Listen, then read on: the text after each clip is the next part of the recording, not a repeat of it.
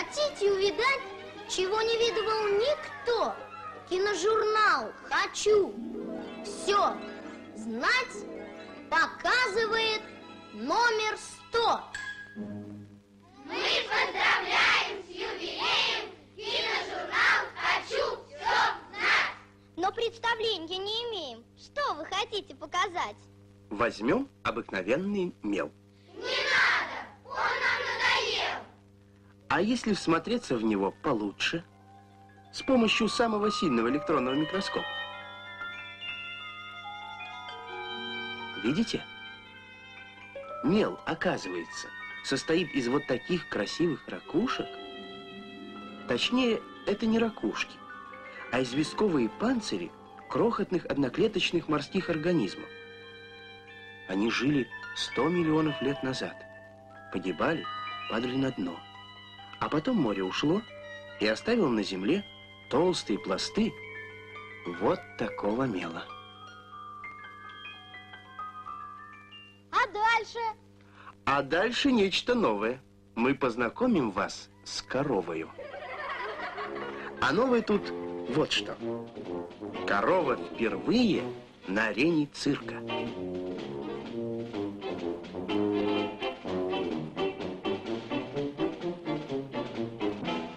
И, как видите, проявляет истинно артистические способности.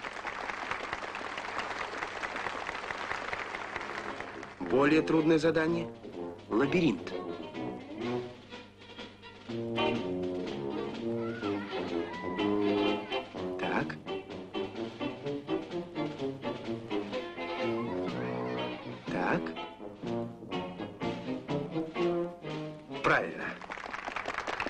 Новый номер пользуется большим успехом.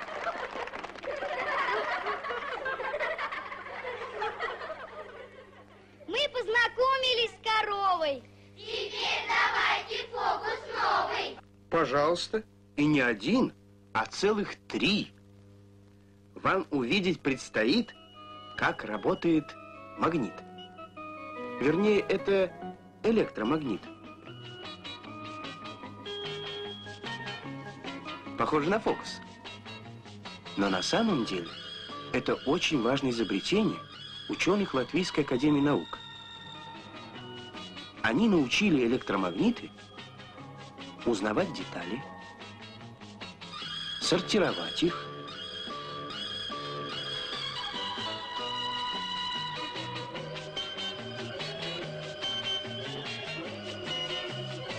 ставить такое положение, чтобы удобно было обрабатывать.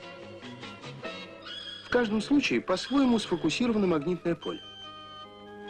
Причем электромагнитам подчиняется не только сталь, железо, но и немагнитные металлы, алюминий, медь, олово. Тут не нужно ни человеческих, ни механических рук. Электромагниты прекрасно руководят движением деталей.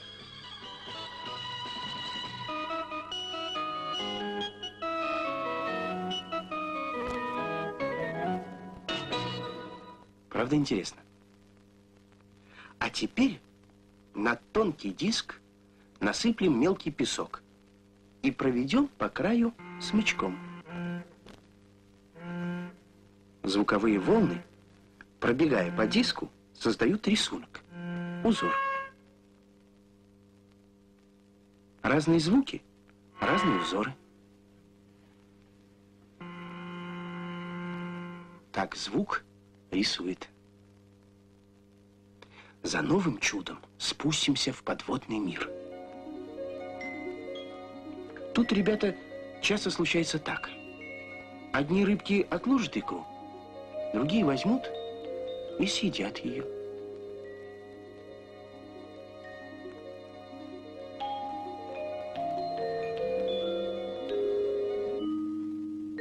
Поэтому маленькая рыбка Копиина Арнольда, которая живет в реках Южной Америки, откладывает свою икру. Впрочем, сейчас все сами увидите. Следите внимательно.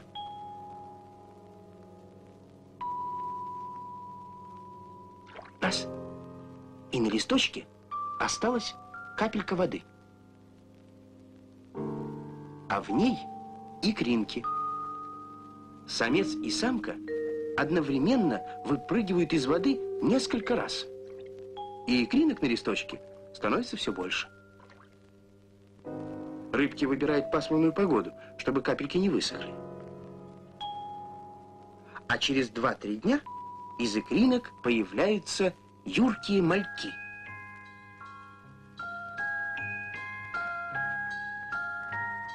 Капельки скатываются.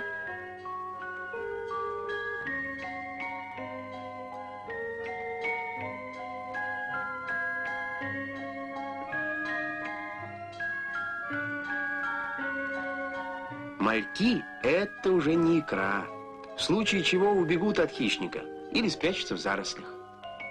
Вот как рыбка Копеина перехитрила любителей поживиться чужой икрой. А может кто-то сделать то, чего не сделает никто? Может. Это Вадик Бинглер, школьник из Минска. Сейчас он сделает то, чего не может сделать ни один акробат. Тройное сальто.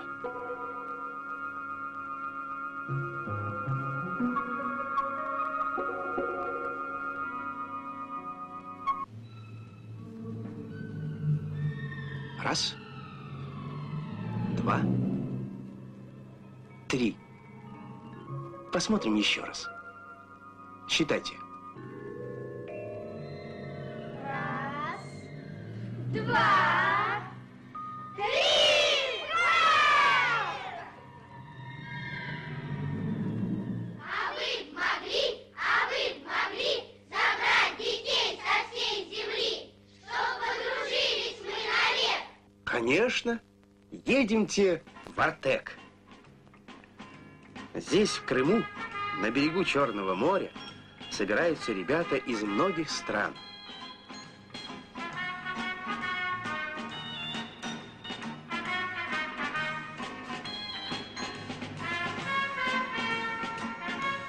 Они встречаются, чтобы получше узнать друг друга, покрепче подружиться и всегда жить в мире.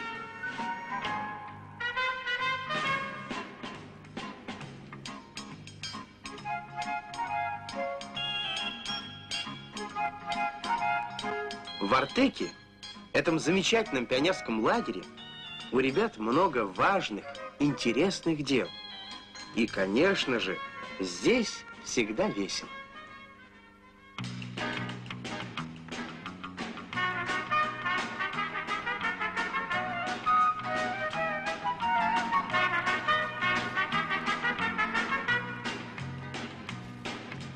Конечно, знают дети, еще не все на свете. И это очень грустно, приходится признать. Но было бы, но было бы желание, придут к тебе, придут к тебе и знания, за это вам ручается. Журнал «Хочу все знать»